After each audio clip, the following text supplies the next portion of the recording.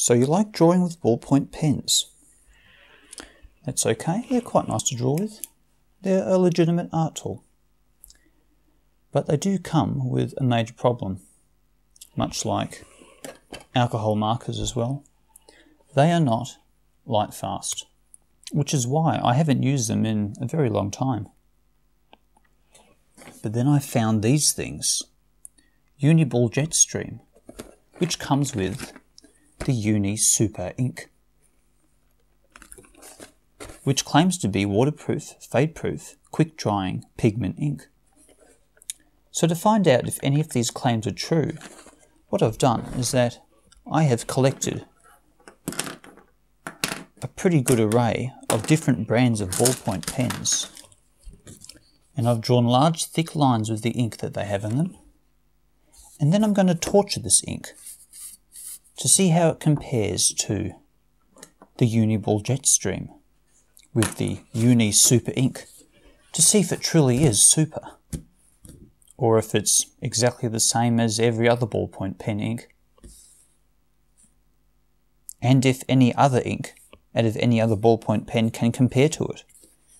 And then maybe I'll find the best ballpoint pen for drawing with. How exciting.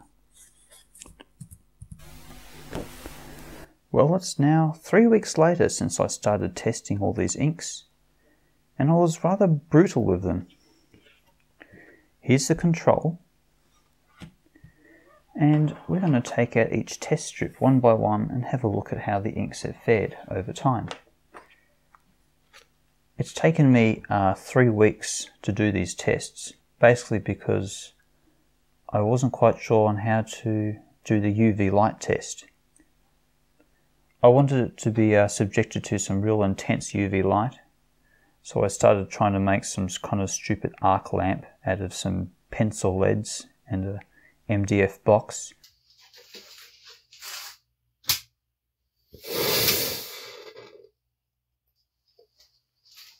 That didn't um that didn't go too well. So after all of that mucking around, I just ended up leaving one of these test strips out in the sunlight for three weeks. Actually, I left two test strips out. I left one under a veranda and I left another one on the inside of a window. Now first we'll have a look at the dry heat test strip, which was interesting, but not entirely accurate. Uh, mostly because I couldn't get an even heat distribution in the fry pan I had put it in. It's kind of a dumb test but we'll leave it in there anyway. I also tested it in cold water. So I just basically left this strip of paper here in water for like a couple of hours. And uh, I found it interesting that the Uniball, this one here, was the only one that actually did any bleeding at all. That was quite strange. Then I did a very interesting test. Something that inks will never ever be exposed to, well I would hope. Hot boiling water. Now I can't say that any ink was particularly great in hot boiling water. Even the so-called Uni Super ink didn't go too well. As you can see the difference here. But out of all of them the worst would have been the Bic Crystal. This here was originally a black ink. What I found most bizarre was that the ink that survived the best in the hot boiling water survived the worst in the cold water. No idea what happened there. Now I'm going to show you a test which actually has some basis in reality, the UV light tests. So this one here which does have some burn marks. This one here was left under a veranda for three weeks, and it got a pretty good amount of sun coming from under the veranda over that period of time. The Bic Crystal Black, you can see some fading. The Staedtler Stick 430F is basically completely gone. The Bic Classic Fine, almost gone. This old Uniball here though is quite still quite strong. The Bic Ecolutions, there's a bit of fading there. The blue Papermate Inkjoy didn't fare too well, but the black Papermate Inkjoy actually turned out pretty well. And here's a test strip I left on the other side of a window. And we see much the same story. I'm actually surprised how well this Papermate Inkjoy in black fares under UV light. It isn't um, marketed to be UV light resistant or fade proof in any way, but actually coped quite well. Pen I reckon that came out on top out of all of them in every single test would have to be the only pen that has actually been marketed to be fade proof and water resistant, and that is the Uniball Jetstream 101 that contains the Uni Super ink. So it seems that they're not lying. Their ink actually is pretty durable. But I've also found another one, which is also very durable. The worst out of all of them would have to be anything made by Bic. Completely terrible. The Bic Ecolutions, you can see was actually survived reasonably well. Nowhere near as good as the Papermate, though. The Bic Classic in blue is almost completely gone. So there you have it. Uni speaks truth. So basically the whole point of this quest was to find the perfect ballpoint pen for drawing so I suppose I better do some. So I've selected the three winners and I've divided a piece of paper into three parts just with lines of a mechanical pencil and I'm going to draw a single picture with those three different pens in their own little areas so you can see some contrast between the different inks. So the pens I selected which I think performed the best in sunlight, were the, the Papermate Inkjoy 300 RT, the Uniball Jetstream 101,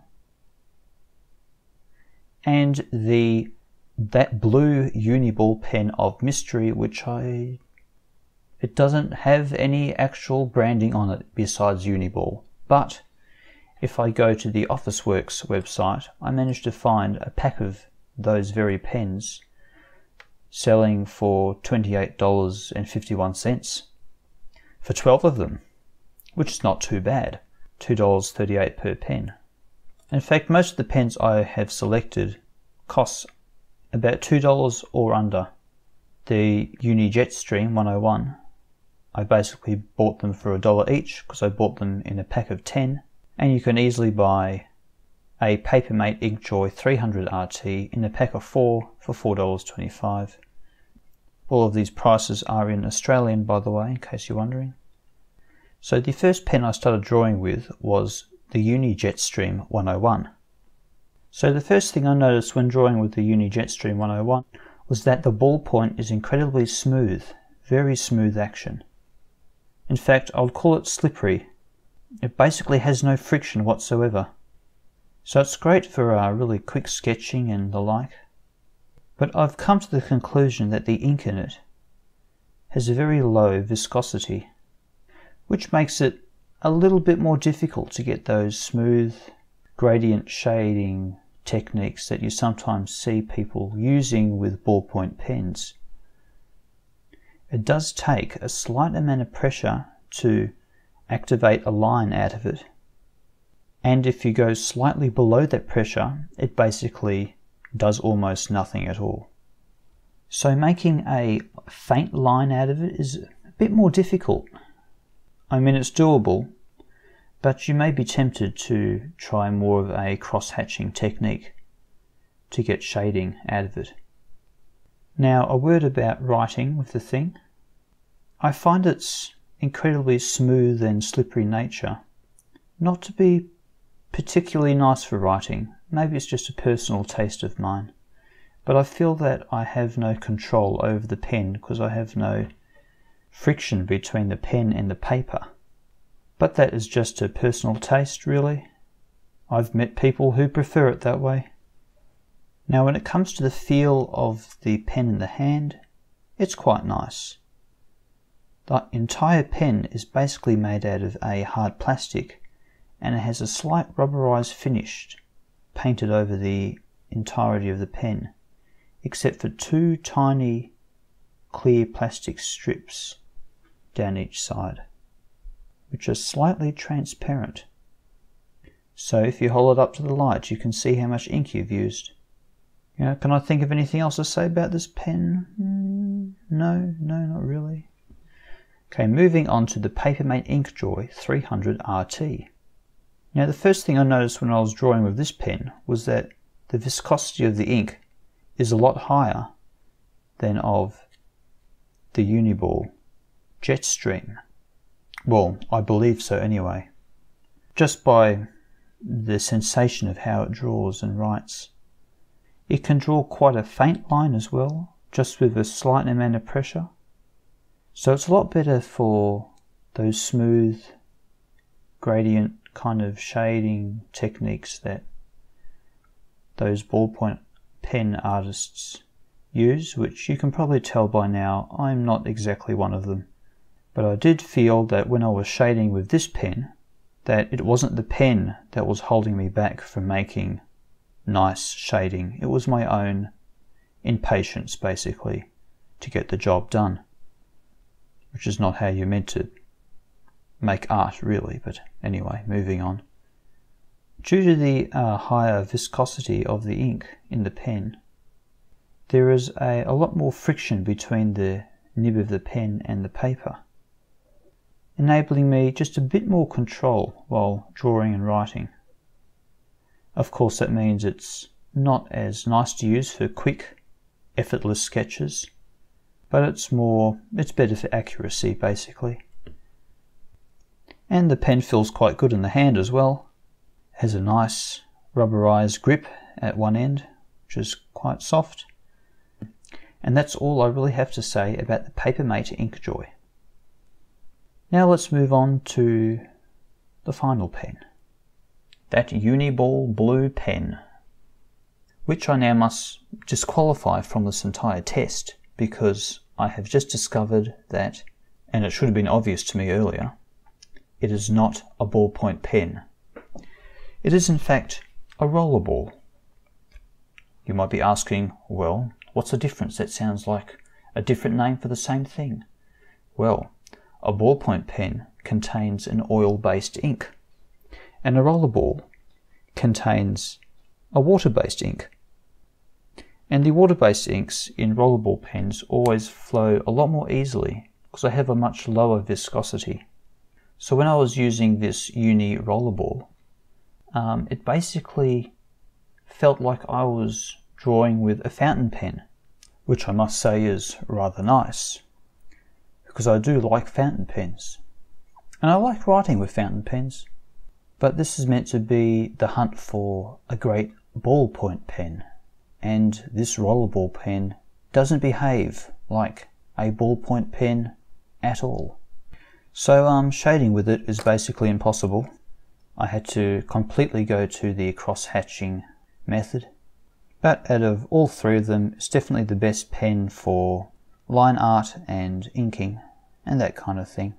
Also, if I look at the item description for this uh, pen that's being sold at Officeworks, uh, it says that it also contains the Uni Super ink. So that's another plus. So that's probably also why it performs so well.